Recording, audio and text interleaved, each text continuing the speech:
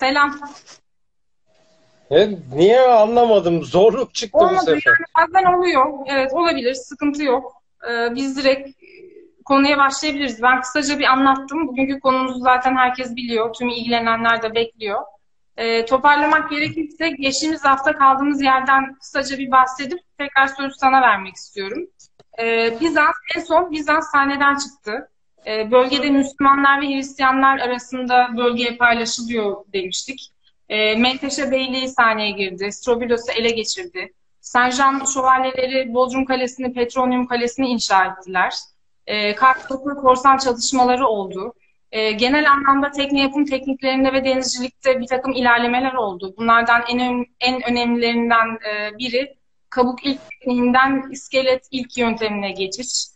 E, dümeni belirdi. Buna istinaden gövde şekilleri, yelken armaları vesaire gelişti.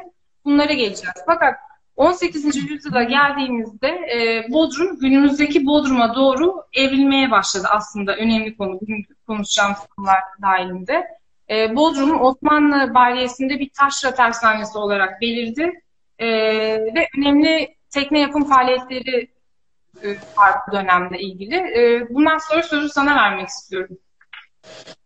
Oldu. Merhaba tekrar. Ee, e, orta çağda yani orta şey, geç orta çağda bırakmıştık. Yani aslında modern çağa geçmiş yani tarihsel olarak modern çağa geçmiş oluyoruz. Halikarnassos yok artık. Hı hı. Ee, onun yerinde demin dediğin gibi Sencan Şövalyelerin kalesi var. O da 1522'de Osmanlıların eline geçiyor. Ve e, tabii denizcilik tarihi açısından bakınca Halikarnassos gitti, Bodrum henüz yok, bir kopukluk mu var diyebiliriz ama denizcilik tarihi genelde bir yerleşim yerinin, daha doğrusu bir kıyının deniziyle ilgili bir tarihtir. O yüzden yani hayat devam ediyor, deniz var ama deniz ticareti e, ve diğer deniz faaliyetleri büyük darbe almış durumda. Çünkü değişik bir dünya. Geçen hafta sonunda değinmiştik. Savaşlar var, korsanlar var. İki taraf kıyasıya savaşıyor. Bu koşullarda birçok yerleşim birimi zaman içinde yok olmuş. Ee, yani Gökova olarak baktığımızda veya diğer e, körfezler olarak baktığımızda birçok yerleşim yeri yok artık Bizans döneminde var olan yerleşim yeri. En son olarak Halikarnassos da tarihe karışıyor. Kesin olarak ne zaman karıştığını bilemiyoruz. Ama bin yılları ile 1200 yıllar arasında e, yok olmuş olmalı. Daha doğrusu büyük ihtimalle terk ettiler bütün bu akımlar karşısında. İşte demin değindin Strobilos kenti öne çıkıyor. O daha farklı bir kent. Ya Orta Çağ kenti daha iyi şekilde korunuyor ama sonunda o da Menteşe Beyliği'nin e, Menteşe Beyliği'ne yeniliyor, kaybediyor. Şimdi şövalyeler orayı ele geçirdiğinde bir dönem hani hayat gene devam ediyor. Biraz ticaret, biraz kapışma şeklinde gidiyor. Ama Osmanlılar geldikten sonra artık karşısındaki adalarda, Bodrum'da her yer Osmanlı'ya ait. Ee, bu sırada bir kale var. Kaleyi ele geçiriyorlar ve kalede bir hayat var. Henüz hiçbir şey yok ortalıkta ve e, 1522 yılı dersek Evliya Çelebi'nin buraya geldiği 1670 yılına kadar e, Bodrum dediğimiz yerde aslında hiçbir şey yok. Sadece kalıntılar var. Hı hı. Çünkü Evliya Çelebi sadece kalenin içinde yaşam olduğundan bahsediyor. Dışarıda da bahçeler vardı diyor. Şimdi buraya Bodrum ismi verildiğine göre e, kalıntılar olma ihtimali var. Çünkü Bodrum kelimesini etimolojik olarak incelediğimizde iki farklı e, teori geliştirdiler. Biri hani kalenin isminden, Petronium isminden devşirilmiş bir isim dediler. Gene e, başka bir tarihçi bunun aslında Yunanca'daki taş anlamına gelen Petra'dan geldiğini söyledi ki bu daha makul gözüküyor. Ama sonuçta Yunanca'dan gelme bir isim. Yani tamamen bir kopukluk yok. E, etrafta yaşayan e, Rumlar var ki bu isim kendisine aktarmış Yunanca olarak. Ama ortada bir şey yok. E, bizim bugün Orta Kent dediğimiz uzun süre müskebi olmuş yer daha önce Episkopi adıyla geçiyor. Zaten müskebi de Episkopi'den evrilmiş. Burada bir yaşam olmuş olabilir. Kayıtlara baktığımızda arşiv belgelerine evet Türkmenlerin e, veya Türkçe konuşan Müslümanların yerleştiğini görüyoruz çeşitli yerlere. Kayıtlarda çünkü birçok yeni köy var. Ama kayıt e, bu yani bu kayıtlarla ilgili yani buranın e, nüfus durumuyla ilgili yapılan çalışmalar bu konuda çok bazen nesnel olamıyorlar galiba ya da atlıyorlar bazı konuları. Yani tam nüfus yapısını bilemiyoruz. Hani Rumlara ne oldu bu sırada onu bilmiyoruz. Ama oralarda bir yerdeler muhtemelen. Çünkü daha sonra tekrar tarih sahnesine çıkıyorlar. Ee, yani Rumlar da önemli bir konuda. Çünkü tarihimiz bizim şu anda yaptığımız iş denizcilik tarihi. Dolayısıyla oradaki bütün Bodrum gibi yani Bodrum, Ortakent, Aspat, karşıdaki adalar tüm denize bakmamız gerekiyor ve bu denizde denizcilik yapmış olanlara bakmamız gerekiyor. Bodrum'da ilk faaliyet e, Kızılhisarlı Mustafa Bey'in gelişiyle beliriyor.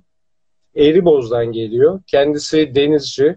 Osmanlı donanmasında görevli. Eğriboz tam olarak neredeydi? Onu da bir anlatabilir miyiz? Eğriboz e, Yunan ana karasında Atina'nın hemen e, kuzey doğusunda kocaman bir ada. Hı hı. Yani neredeyse Girit kadar büyük bir ada ama karaya o kadar yakın ki bazen ada olduğu gözden kaçıyor. Burası Orta Çağ döneminde ilk önce Venediklilerin önemli adalarından biri. Daha sonra da Osmanlı'nın e, Osmanlı donanmasının önemli bir üssü oluyor. E, buradan çıkan birçok e, denizci var. O sıralarda yani kaptan, kaptanlar, reisler, patronalar, yani bunları bugünkü dille amiral olarak e, tanımlandırabilir, e, tanımlayabiliriz. Şimdi bir şekilde e, hem kısmen kendi isteğiyle gelmiş olabilir hem de görevlendirildiği için Bodrum yöresine geliyor. Daha doğrusu bizim bu denize geliyor. Yani Bodrum civarındaki denize, arşipele. Yani Rodos'u da kapsayan bir bölgeye geliyor. Bu konuda çalışmalar yapanlar var. Yani Bodrum'da özellikle e, daha önce müzede de konuşma yapmıştı. Cilsa, Mehmet Cilsal o evet. epey çalışıyor bunu.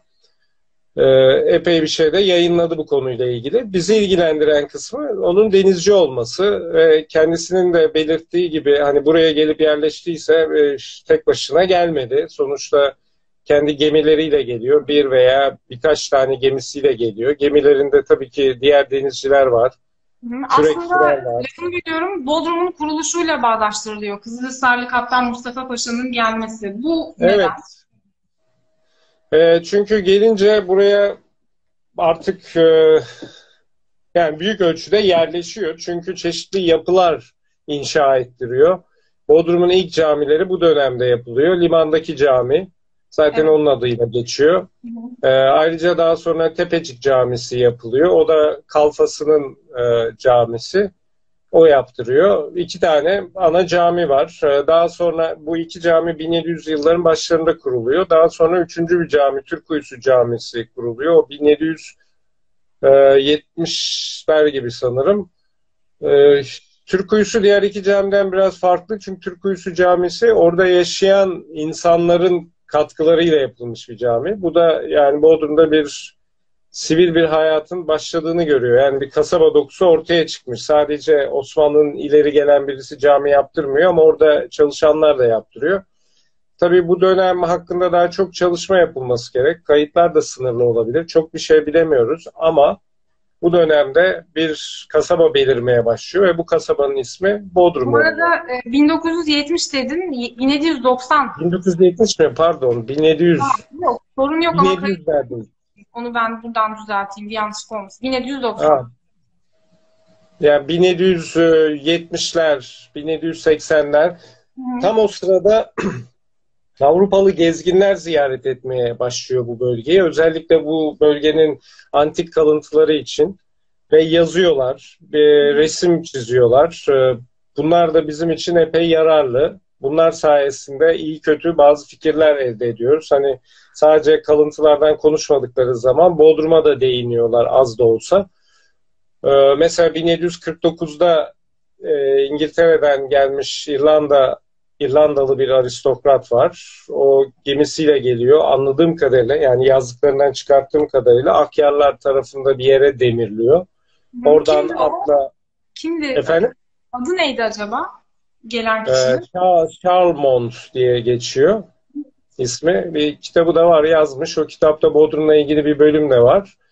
Orada işte atla bod ilk önce e, adamını gönderiyor. izin alıyorlar. E, cevap bekliyorlar. Sonra gidiyorlar. Amaçları kalenin içine girip oradaki kalıntıları çizmek. Bu sırada e, nasıl gittiğini anlatıyor. Hani değişik kelimeler kullanıyor. Muhtemelen değişik şekillerde adlandırılıyordu bazı yerler ama yaptığı tariften çünkü güzel bir tarif yapmış. İlk önce orta kente geliyor. Daha sonra da Bodrum'a geliyor. Hı. Bodrum'un ama çok yoksul bir yer olduğunu söylüyor. Ama önemli bir konu.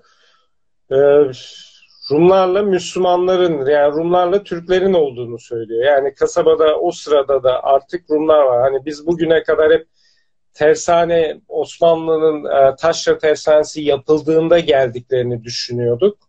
Hı hı. Ee, böyle diyen araştırmacılar var ama bu gezgine göre 1749'da az az veya çok Rumlar var kasabada. Hemen arkasından başka gezginler de var. Bunlar e, daha güzel resimler çiziyorlar. Bir tane Mayer isimli birisi var. Epey güzel bir resim çizmiş. Eğer resim doğruysa yani ger o günkü gerçeği yansıtıyorsa e, elle tutulur bir kasaba var. Açıktan çizmiş bu resmi. E, yaklaşık sanırım şimdi Haremte'nin karşısına denk gelen bir mesafeden çizmiş. Kale gözüküyor. Kalenin sol tarafında yakınlarında var mı? Gösterebilir miyiz peki? Yakınlarında Ay, var mı? Bilgisayarda var. Yakınımda değil de. Paylaşımlarla anlatırız. Yani kışın tekrar e, müzede konferanslar yapmaya başladığımızda o zaman bununla ilgili güzel bir sunum yapabiliriz. Ama güzel renkli bir resim. E, kalenin sağ tarafında da evler görüyoruz. Yani daha sonra Rum mahallesi olarak adlandırılacak yerde de az sayıda evler var. Bir tekne, e, limanın içinde iki tane büyük yelkenli görüyoruz. Üç direkli iki büyük yelkenli. Hı hı. Kendi tekneleri yani kendi tekneleri de olmuş olabilir bilemiyoruz.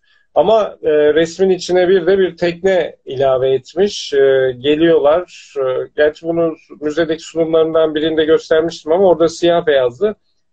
Tekneyle geliyorlar. Yelkenlerini indirmişler. İşte bir sandal tekneyi çekiyor. E, ama teknenin de yani bir tek baş tarafını görüyoruz. Yalnız epey ayrıntılı çizmiş. Yani o sırada kullanılan yelken armasını ve teknenin ön kısmını gayet net görüyoruz.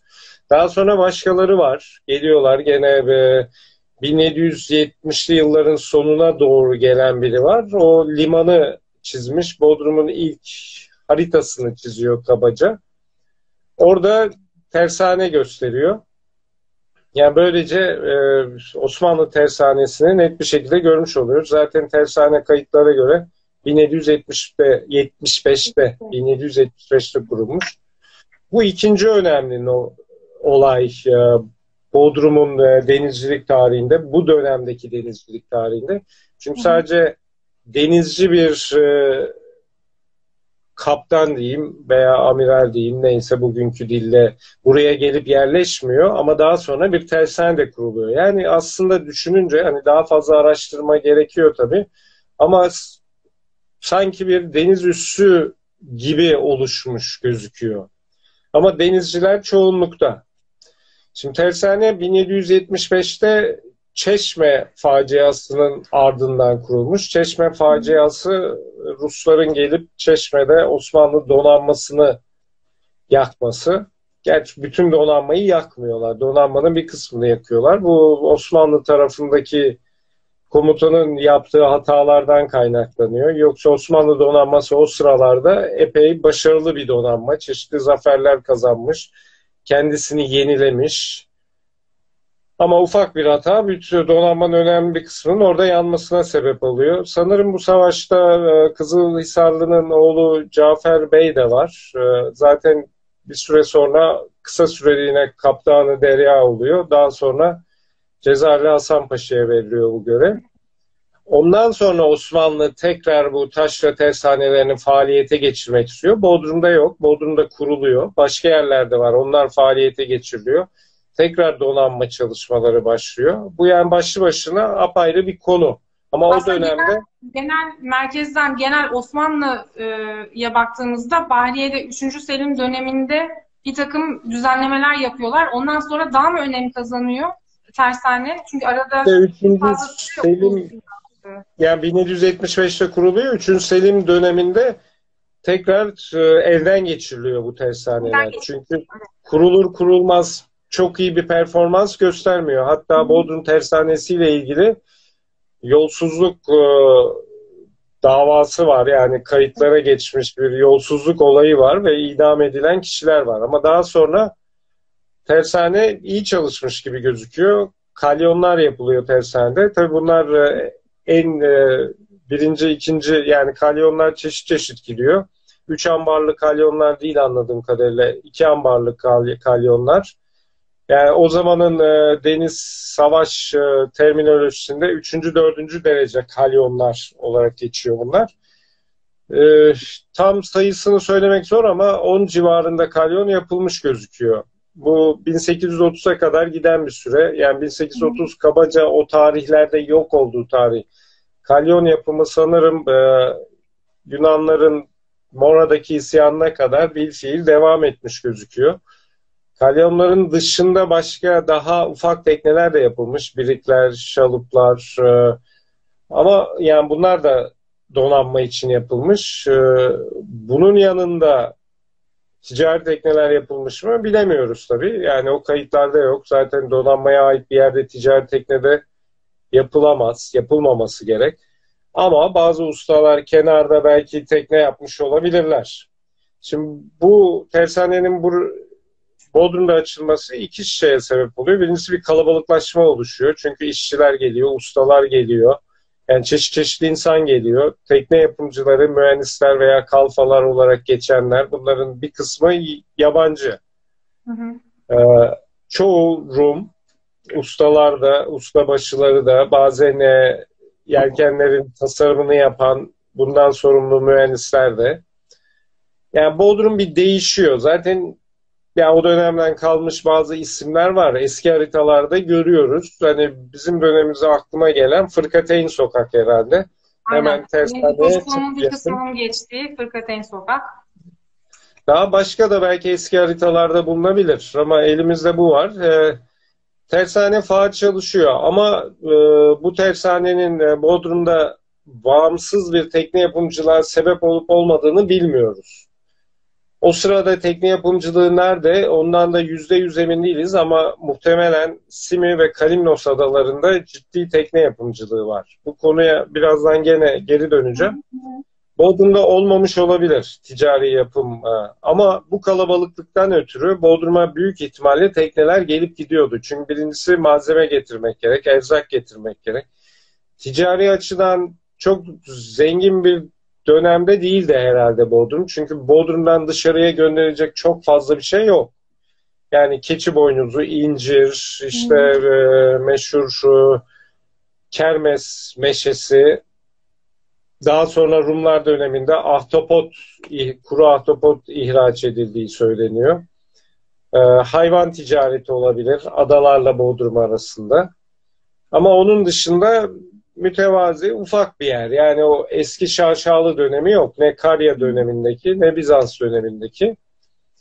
Daha sonra tersaneden sonra Bodrum'un Bodrum Limanı'nın ilk fotoğrafıyla karşılaşıyoruz. Mozoleyi kazmaya gelmiş olan e, Newton'un ekibinden bir fotoğrafçı Sparkman e, Bodrum'un fotoğraflarını çekiyor. Onun fotoğrafları sayesinde kalenin işte kum bahçe tarafını görüyoruz. Orada epey bir Rum mahallesi var.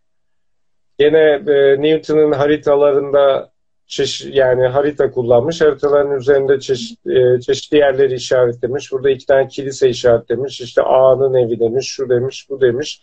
Ama limanın fotoğrafı var ve full fotoğrafını çekmişler. Yani e, tersaneden şu anki rıhtıma T iskelenin olduğu yere işte sahil sığıya, belediyeye kadar yani Tepecik Camisi hepsini içine almışlar.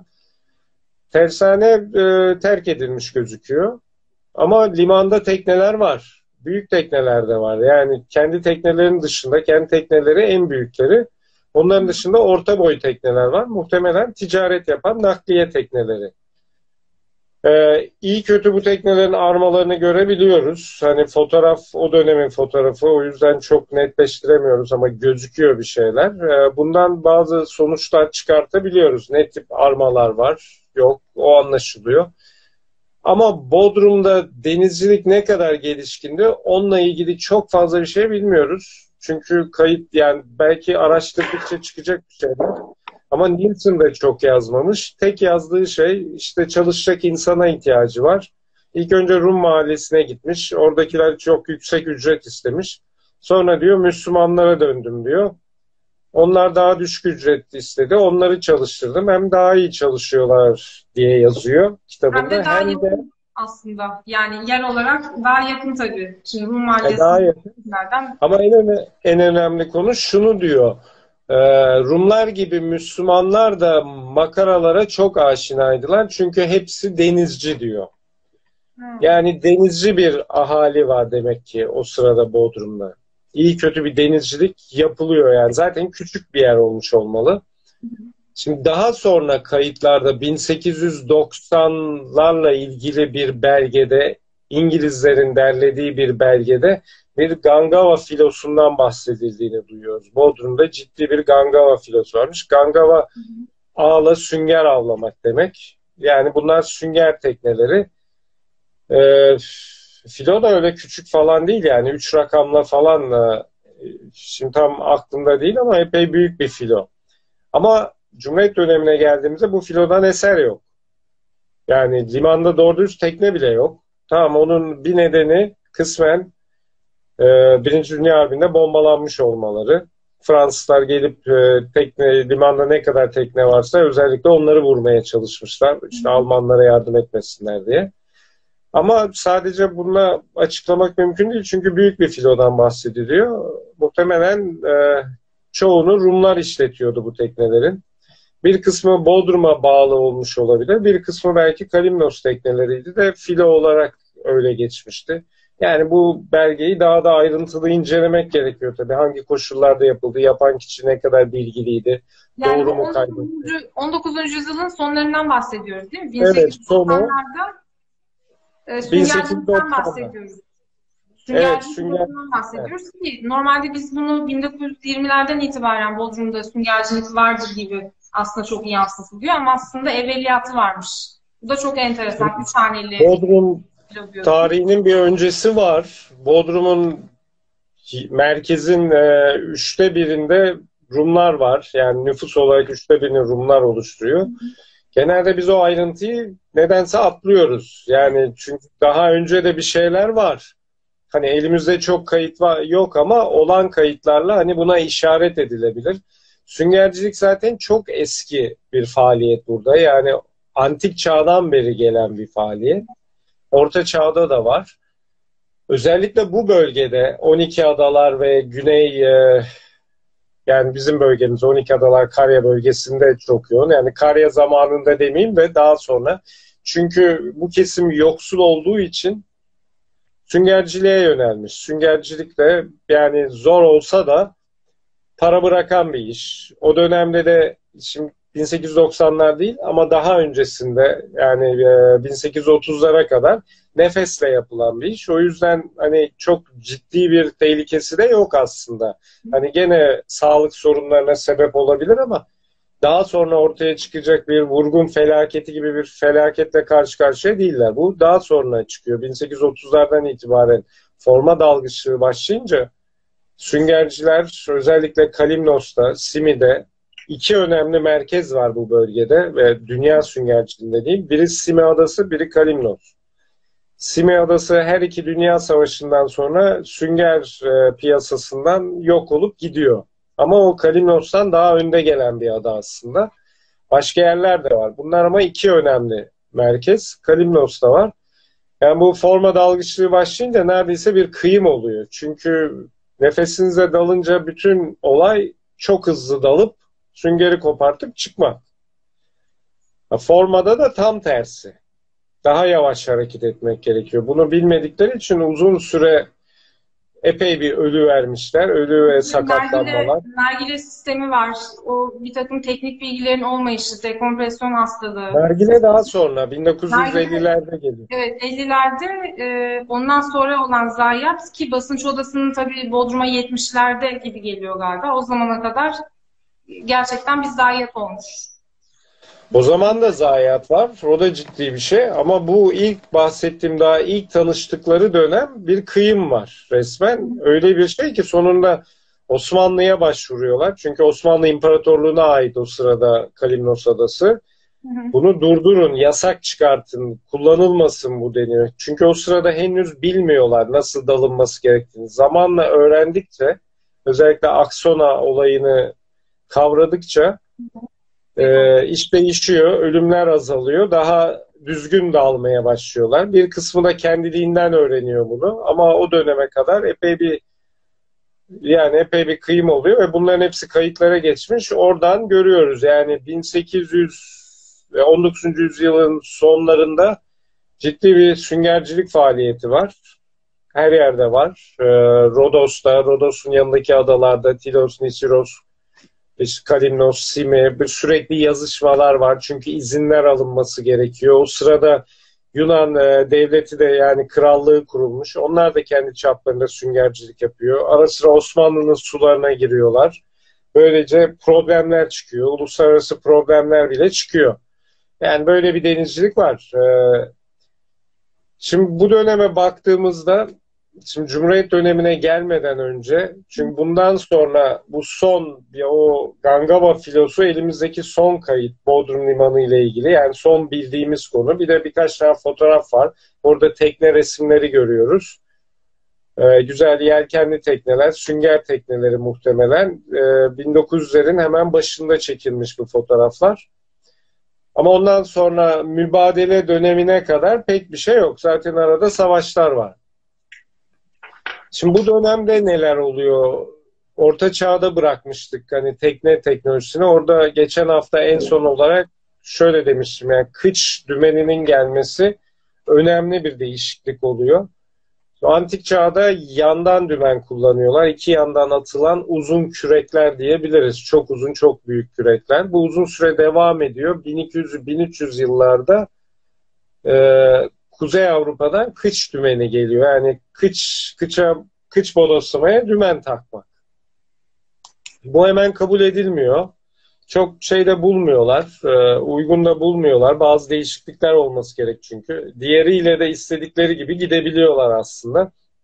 Ama tekneler büyüdükçe o yan dümenler de büyümeye başlıyor ve iş zorlaşıyor. Ee, bu arada tekne yapımcıları değişik teknikler geliştirerek bu kış dümeninin daha kolay monte edilmesini sağlıyorlar teknelerin kıçına. Şimdi problemlerden biri orta çağda yuvarlak kıçlı tekneler çok yaygın. Tam oturmuyor bunlara bu dümen. Bu kıçın değişmesi gerekiyor tekne kıçının.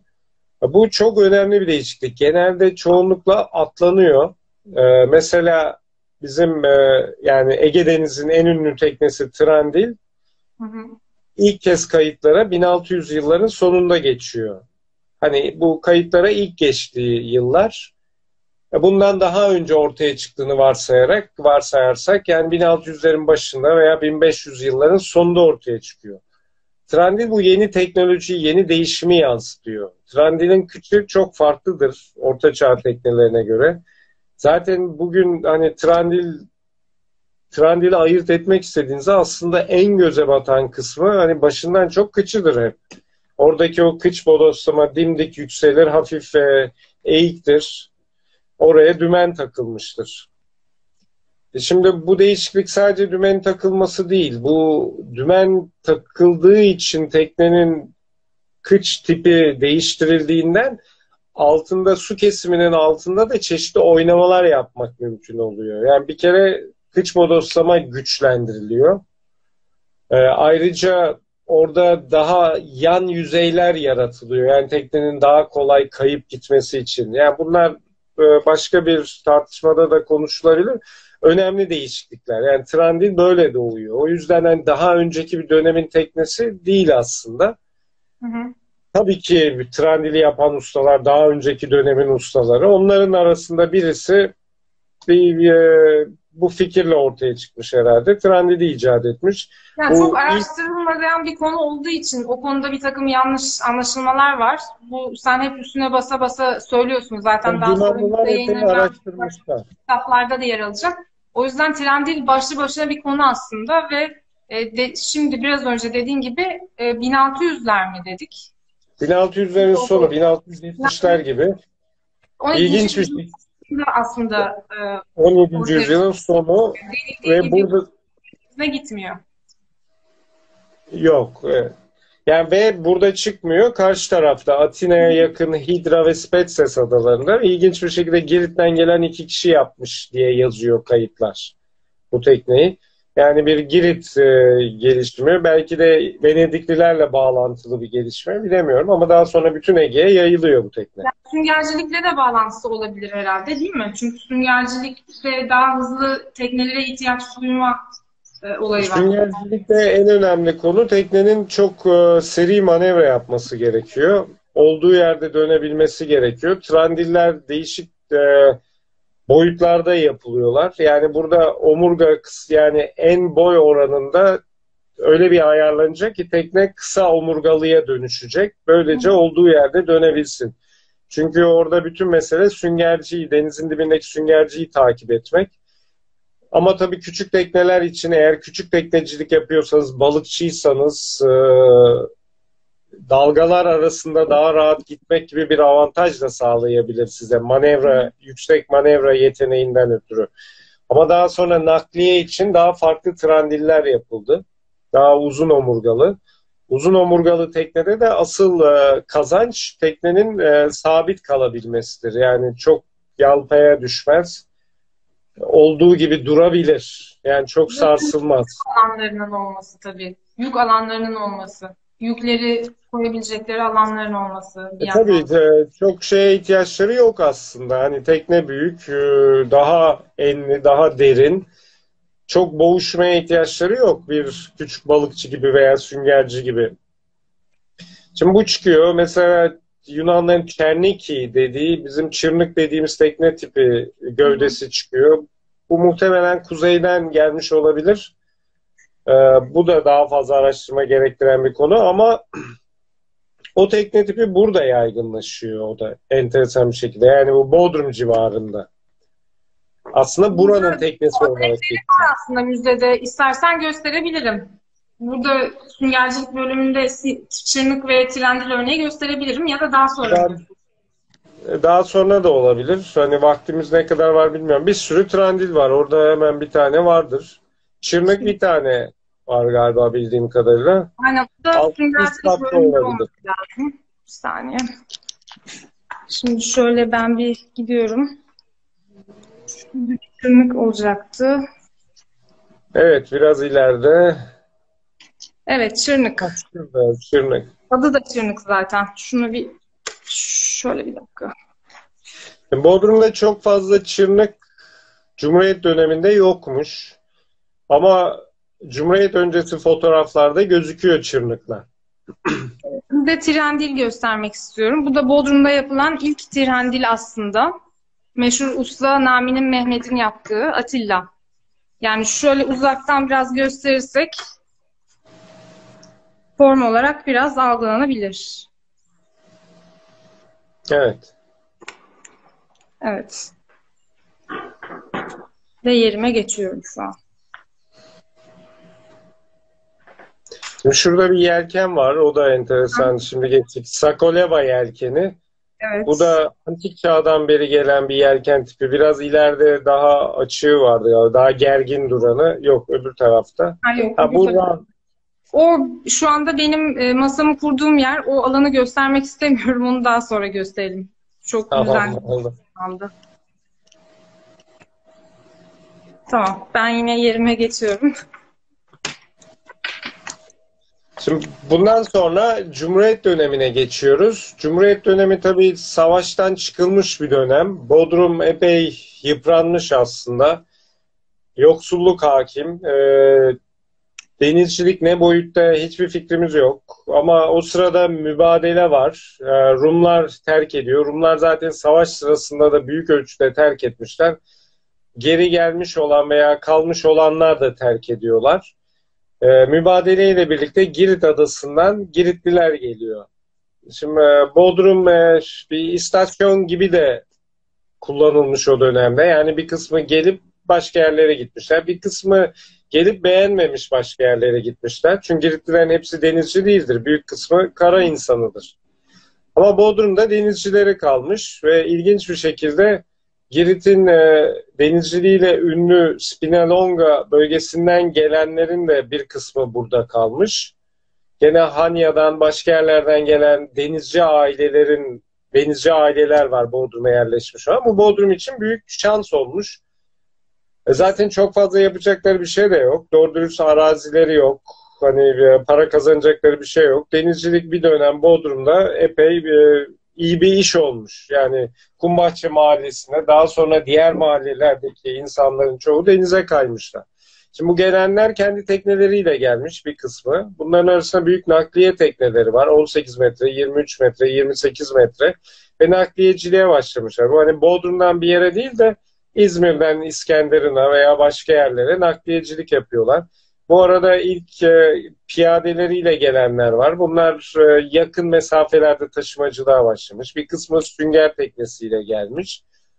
Böyle böyle başlıyorlar çalışmaya. E, bu demin gösterdiğimiz tekne ilk işte Nami'nin Mehmet yapıyor onu. E, onun babası denizci. O tekneyi Mehmet... şu an özür dilerim yaşayıp yaşamadığını sormuşlar ama yaşamıyor tabii ki de. Yok yaşamıyor. Keşke yaşasaydı. Ama epey eski 1930'larda yapılmış bir tekne. 33 falan olabilir. İyi hatırlıyorum. Yani bugüne gelmesi mucize olurdu. Ee, şimdi Amin'in Mehmet tekne yapımcısı değil. Tekne yapımcısı da yok o sırada Bodrum'da. Ee, işte Ziya Usta var ama o bir marangoz olarak çalışıyor. Namini Mehmet tekne yapmak istiyor kendisine ve bilmiyor, öğrenmek istiyor. Hani anlatılanlara göre Kalimnos Adası'na gidiyor. Kalimnos Adası'ndaki ustalardan öğrenmek istiyor. Onlar yüz vermiyorlar Namini Mehmet'e. Şimdi Namini Mehmet'in ve diğer Giritlilerin şöyle bir avantajı var. Hepsi Rumca konuşuyorlar. Ana dilleri Rumca. O yüzden çok rahat anlaşabiliyorlar. Sonuçta aynı dili konuşuyorlar. Bu birçok faaliyetlerini de kolaylaştırıyor. Bodrum'da denizciliğin gelişmesinde de önemli bir unsur bu. Çünkü karşı tarafla ticaret yapabiliyorlar. Rumca konuştukları için rahatlıkla yapıyorlar. Bazen gidip orada çalışıyorlar. Bu arada karşı taraf da Yunanistan değil o sırada İtalya. E, çünkü 12 adalar İtalyanlara ait. E, bu Giritlilerin bir kısmı Kos Adası'ndan gelip buraya yerleşiyor. Bir kısmı Girit'ten geliyor. Kos'tan gelenlerin doğum yeri olarak İtalya yazar. Genelde orası Hepsinin İtalya Anneleri, babaları, üçüncü nesli genelde hep İtalyanca konuşurlarmış zaten tabii. Şu ha, bir de o var evet. Rumca ek olarak hani Rumca konuşuyorlar. Daha sonra Türkçeyi de bir kısmı Türkçeyi zaten biliyor, bir kısmı öğreniyor. Bir de İtalyanca konuşuyorlar. Bu büyük avantaj tabii. Denizde ticaret yapıyorsanız. Hani süngercilikle ticaret. O dönem hmm. altın ticareti bile yapıldığı söyleniyor.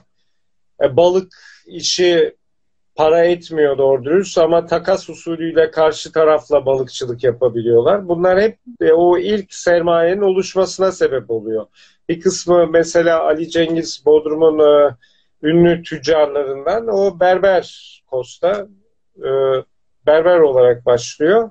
Daha sonra yavaş yavaş ticarete atılıyor. Böyle böyle bir süre sonra sünger ticaretine de giriyor. Epey bir birikim oluşturuyor.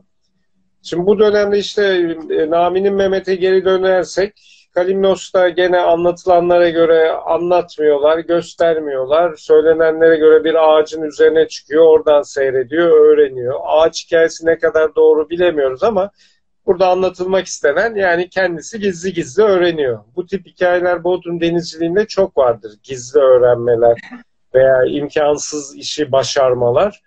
Ama Namini Mehmet yapıyor bir tekne olmuyor. Babası dalga geçiyor. Neyse onu onu elinden çıkartıyor. Sonra tekrar yapıyor. Hani uzun lafın kısası bir trandil yapıyor ve Bodrum'un ilk trandilini yapıyor. Türkiye'nin de ilk Trandil'i olabilir. Hani başka yerde yapmadılarsa hani bir ihtimal belki yukarıda Ayvalık'ta yapıldıysa bilemem. Ama Hı. bu büyük ihtimalle hem Türkiye'nin Türkiye'de yapılmış hem de Bodrum'da yapılmış ilk Trandil. Bu sırada Ziya Usta ile çalışıyor. Ee, bir süre daha devam ediyor. Ondan sonra Güllü'ye yerleşiyor Namili Mehmet. Orada devam ediyor. Hala torunu, onun da ismi Mehmet, Mehmet Usta devam ediyor. Şimdi Ziya Usta onunla beraber çalışırken birçok şey öğreniyor. Ayrıca kendisi de işi ilerleterek e, İkinci Dünya Harbi sırasında çeşitli denemeler yaparak henüz tekne yapmıyor. Olan tekneleri büyütüyorlar. Büyütme diye bir şey var. Ortasından kesip büyütüp ekler yaparak tekneyi uzatıyorsunuz. İlk teknesini, ilk trendilerini İkinci Dünya Harbi'nden sonra yap, yapıyor. Hemen sonrasında yapıyor ve ondan sonra başlıyor Bodrum'da trendil yapımcılığı. O da yanına çıraklar alıyor tabii. Bu çıraklar yanında yetişiyorlar. Hepsi Bodrum'un e, meşhur ustaları oluyorlar ileride. İşte Erol Ağan, Ali Kemal Deniz Aslanı, Ethem Özyurt. Bu e, Giritlilerin en büyük katkılarından biri oluyor. Ama şuna da işaret etmek gerek. Hani Bodrum zaten başlangıcında da denizci gözüküyor. Hani denizci Rum da var, denizci Müslüman da var. Belki Rumlar daha çoğunluktalar ama hani Giritliler geldiğinde zaten bir deniz kültürüne aşinalık var büyük ihtimalle. Ama zaten çok büyük var. Olmaması da pek mümkün değil gibi. Çünkü ulaşımın olmadığı bir yer. Elektriğin bile 1960'larda evet. kullanılmaya başlandığı bir yerden bahsediyoruz. Yani denizciliğin olmaması aslında mümkün gibi de değil. Teknoloji değil, e, gelişmeler. Sadece yani büyük darbe yemiş denizcilik. Yani altyapısını epey kaybetmiş Cumhuriyet döneminin başına. Tekne yok yani doğru dürüst. Tekne olmayınca problem oluyor denizcilik. Ama mesela Ethem Özyurt'un ailesine baktığımız Özyurtlar onlar denizciler. E sonuçta belediye başkanımızın ailesi de o da Kızılhisarlı'nın soyundan geliyor. Sonuçta denizci. Gene öbür mahalle e, e, eski çeşme tarafları, tepecik tarafları orada Kızılhisarlı'nın soyundan gelen çok vardır. Ve eski haritalara baktığınızda hep şu kaptanın bahçesi, bu kaptanın tarlası diye yer isimleri görürsünüz. Yani denizcilik var. E, daha başkaları da geliyor aklıma da. E, ama öyle bir darbeymiş ki Giritlilerin kendi tekneleriyle ve daha farklı e, iş fikirleriyle gelmeleri ve de en önemlisi Rumcayı biliyor olmaları büyük bir itici güç oluyor Bodrum denizciliği için. Ve Bodrum denizciliği bir sıçramaya başlıyor. Süngerciliği daha farklı boyuta taşıyorlar. Forma dalgıçlığına geçiyorlar. Gidip gene Kalimnos'tan Ali Cengiz işte bu işi yapmak istiyor. E, malzeme temin ediyor. İlk dalgıçları yetiştiriyor. E tabii Giritli sayısı belli. Yani daha fazla insana ihtiyaç var ve ilk defa Bodrum'un köylerinden veya başka yerlerinden dalgıçlar e, yetişiyor. Özellikle Yalıkavak tarafında, Geriş tarafında oralardan çok dalgıç yetişiyor. Yani zamanla bütün Bodrum Yarımadası bu denizcilik faaliyetine karışıyor. Özellikle süngerciliğe. Balıkçılık zaten var ama balıkçılık çok büyük bir iş değil ilk başta. Yani küçük piyadelerle balıkçılık yapanlar var. Hani daha çoğunluk Giritliler yapıyor. Gene yarımadanın öbür taraflarında yapanlar var. Ama bu süngercilik olayı yani bunlar süngercilikle tekne yapımcılığı başa baş yani birlikte hareket ediyorlar. Süngercilik geliştikçe ondan para kazanıldıkça bu sefer tekne yapımcılığı bir, bir e, coşuyor. Sürekli trendil yapılmaya başlanıyor. Çünkü para kazanıyor insanlar. Tekne lazım. Ve bu tekne yapımcılığını geliştiriyor Bodrum'da. Çünkü ciddi süngercilikten özellikle 1945-60 arası sanırım altın çağı çok ciddi paralar kazanılmış ki insanlar evet. aylarca ailelerinin sahil boyunca sünger arıyorlar. Ciddi hikayeler yaşıyorlar. Biz müzede bu anlamda söz tutar çalışmalarına başladık bu sene biliyorsun. Ee, orada evet, da çok... son kalan elimizde yaşayan insanlarla yaptığımız konuşmalarda çok enteresan ve korkunç hikayeler var aslında. Yani resmen e, can savaşı verilmiş. Çünkü fakir bir yer dediğim gibi ama çok yüksek paralar kazanılabiliyor. Ki onlar tercih edildiğinde daha da yüksek paralara satılıyor belki ama Bodrum e, nazarında yine de çok yüksek paralar. O nedenle de tekne yapım sektörüne büyük bir katkısı olmuş. İyi para kazanılıyor. Yani tabii o para iyi olunca hırs da oluyor. İşte süngercinin en büyük belası da hırs genelde. Hırsına yenilip çok vurgun yiyenler oluyor. Bir kısmı parasını iyi değerlendiriyor. Kendisi tekne yapıyor, işini büyütüyor. Ev arsa neyse. Bir kısmı da o bilinir anlatılır. Sezon bittiğinde kendisini meyhaneye atıp bir dahaki sezonun başlangıcına kadar oradan çıkmayanlar da var. O parayla. Ama burada işte tekne yapımcılığı başlıyor. O önemli. Yani gelişiyor. Yani bu olmasa belki o kadar gelişmeyecek. Mesela o altın çağında süngerciliğin Gangava'yı yeniden icat ediyorlar. Tabii bu daha önce icat ediliyor. 1940'lar ve hemen öncesi sanırım Gavur Ali ve başkaları ilk Gangava'yı kullanmaya başlıyorlar Ay, ve henüz makine anlatıyor aslında kitabında. Kendinin de payı olduğunu söylüyor. Yani farklı bir iki hikaye var herhalde Gangava'nın. Evet, Cevat Şakir de söylüyor benim de payım var diye. Artık onu hiçbir zaman bilemeyeceğiz. İkisini de farklı fikirler olarak kabul etmek zorundayız. Hani ve Gavur Ali ile çok yakın arkadaşlar. E, büyük ihtimalle beraber bunun sohbetlerini yaptılar. Karşılıklı yardımlaştılar. E, bunlar ama yelken dönemi. Yani Gavur Ali'ler başladıklarında yelkenle yapıyorlar bu işi. Yani o ağı yelkenle çekiyorlar. Motor ne zaman geliyordu? Motor ne zaman geliyordu? Yani makine dönemi işte İkinci Dünya Harbi'nden itibaren yavaş yavaş başlıyor. Parası olan ona dönüşüyor. 50'lerde artık e, makinalı dönem diyebiliriz. Yani 50'lerin yani 55'ten sonraki denizcilerin çoğu sırf yelkenle çalışmamıştır artık yani. Onu diyebiliriz. Hı hı. Şimdi bu yelken dönemi tabii Gangava 70'lerde herhalde yasaklanıyor. Hani tamam süngercilik e, yerel faaliyet gelişsin etsin unutmayalım bu değerimizi diyoruz ama Gangava süngerciliği de aynı zamanda suyun altına çok büyük zarar veren bir faaliyet. Bu yüzden yasaklanıyor. Diğerleri yok öyle zararlı değil yani formayla dalmak. Mesela nargile yöntemi geliyor 1950'lerde e, baskın e, Tosun Baskın- Sezen ve Baskın. Baskın Onlar getiriyorlar bu şeyi. Ya daha doğrusu nargile yöntemini geliştiriyorlar. Böyle de olunabilir diye. O yüzden o tarihten sonra dalmış olanlar zaten pek formayı bilmezler. Yani bunların çok yani bu konunun tabii bir sürü ayrıntısı var. Şimdi canlı yayında daha hızlı geçiyoruz. Yani Gangava'da icat edilirken aynacı sandalıyla ilk başta dalınıyordu vesaire. Örneği yok müzemizde ama bir bağışçımız onu müzemize e, bağışlayacak. Aynacı sandalı, işte Gangava, e, aynalı sandalyeyi yansıtan şeyler var orada da benzeyen. Evet aynacılık var. O daha sığ yüzeyde yakalamayı kolaylaştırıyor. Yani bir ayna gibi bir alet var. Bir kova düşünün. Kovanın altında bir cam var. Bir kişi baş taraftan sürekli denizin dibini tetkik ediyor. Sünger arıyor. Bu kova değişik şekillerde de yapılıyor. Yani uzun olanları da var. Tam baş bodoslamaya oturtulan. Zaten teknenin baş bodoslaması dimdik yapılıyor. Hı hı. Muş. Ee, o kişi de hemen arkasında baş altına geçiyormuş. Oradan seyrediyor. Arkada da bir dalgıç hazır bekliyor. Şimdi çok derinse dalgıç atlayıp çıkartıyor. Eğer derin değil de sığdaysa kancaları özel aletleri oluyormuş. Onunla söküp çıkartıyorlarmış. Bu çok ev- önceden beri yapılan bir e, dalma metodu. Buna çıplak dalgıçlık da diyorlar. Hani Girit'te mesela İngiliz amirali görmüş bunu anlatıyor çıplak dalgıçlık diye.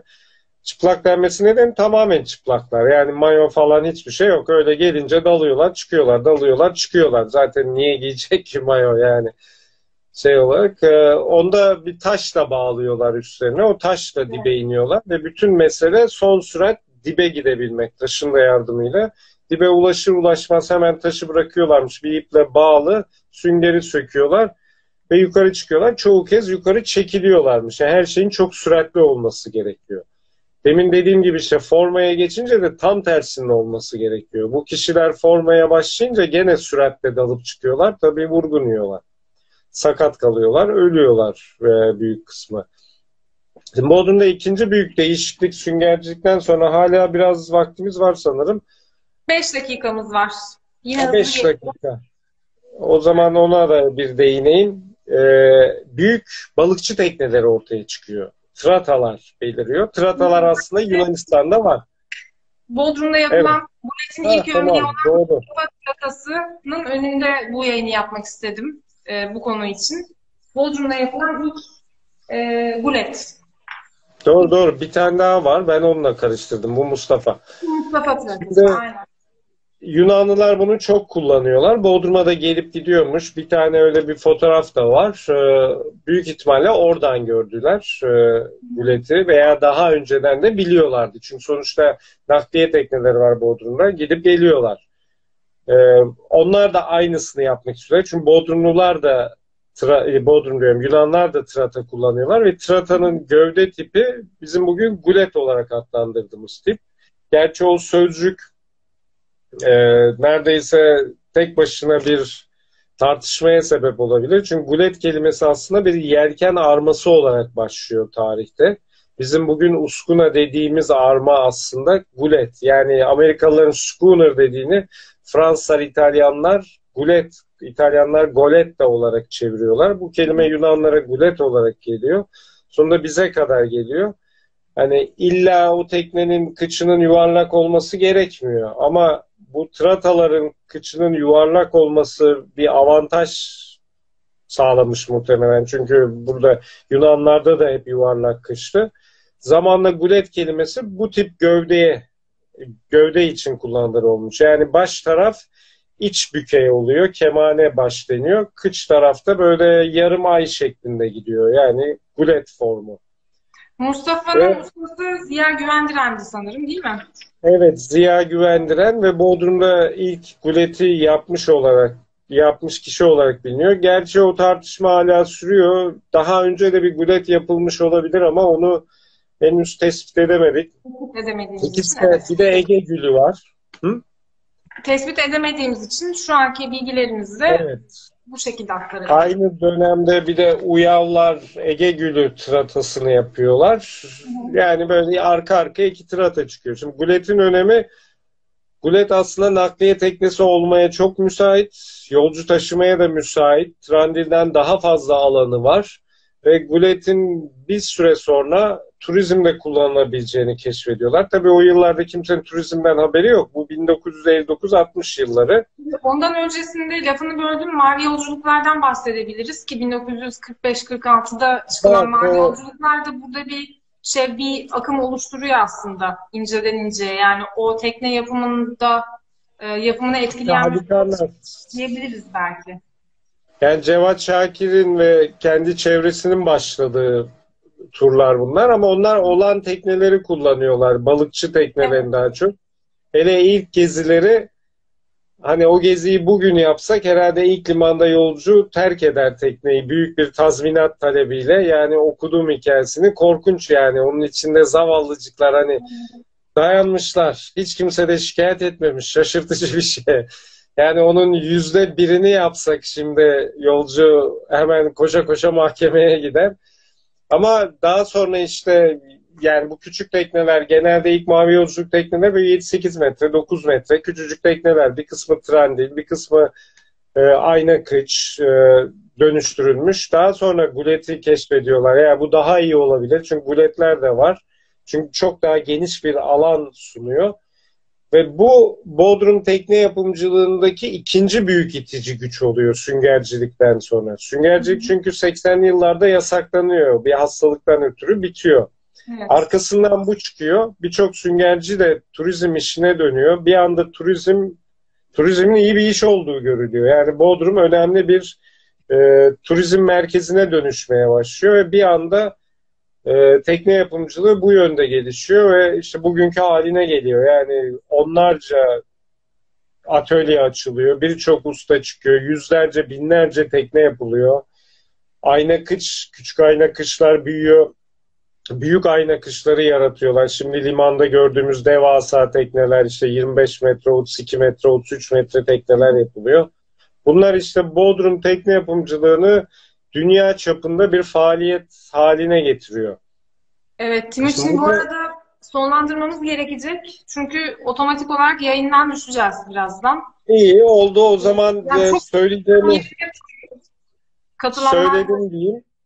Yani Gulet'in hikayesi de böyle. Belki daha sonra başka bir şekilde daha fazla açarız. Hani bu çok evet. hızlandırılmış bir 20. yüzyıl denizcilik tarihi oldu. Çok hızlı gerçekten. Bence bunu açarak gidebiliriz. Yani aslında daha çok Osmanlı tersanesine değindik. Ona da tam değinemedik ama e, e, bu kadar kaç yüzyılı ancak bu şekilde aktarabiliriz. Çok Tekneleri daha çok tekneleri daha çok anlatarak bir program yapabiliriz her iki yerde de. Evet, daha uygun olur. Bir de guleti, işte tirhendili, çırnı vesaire bu modelleri, müzede olan modelleri de ben buradan gösterebilirim. Çünkü herkes hakim değil modellere. Buradan gösterirsek Evet. daha da güzel olur. E, öyle bir program yapabiliriz. Hani ben de oraya gelebilirim gerçi ama o ne kadar canlı yayın olur o zaman bilemiyorum. Oldu o zaman. E, çok teşekkürler böyle bir fırsat Teşekkürler.